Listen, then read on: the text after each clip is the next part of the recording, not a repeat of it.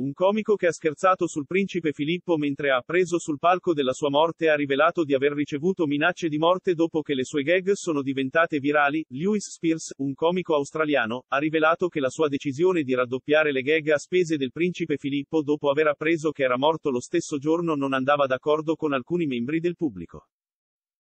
Durante un'intervista con SBS Insight che dovrebbe essere trasmessa mercoledì sera, il signor Spears ha detto che i britannici più anziani in particolare erano furiosi quando le sue battute li hanno raggiunti dopo essere diventati virali online, parlando con il presentatore Kumi Taguchi, che ha chiesto al comico 27enne dov'è il limite quando si tratta di umorismo e cosa succede quando lo si attraversa. Il signor Spears ha detto.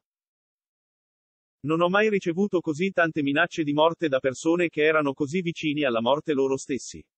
È stato profondamente positivo, ma c'era come una minoranza davvero molto rumorosa che era infuriata, molto arrabbiata e sconvolta. Il signor Spears ha affermato che le reazioni negative e arrabbiate sono state alimentate dai media e come hanno ritratto le sue battute dopo che sono diventate virali.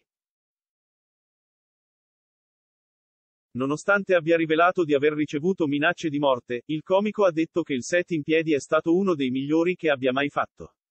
Descrivendolo come un privilegio, le sue battute sul principe Filippo sono state filmate, il comico ha aggiunto, è qualcosa che sento un vero privilegio che sono riuscito a catturare su pellicola e che non potrà mai essere replicato.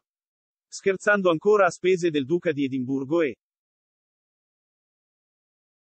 della famiglia reale, il signor Spears ha aggiunto, perché quelle erano battute prescritte che stavo facendo sul principe Filippo al Festival della Commedia per dieci sere di seguito, quindi se mai dovrei magari scusami con la famiglia reale perché penso di averlo ucciso io.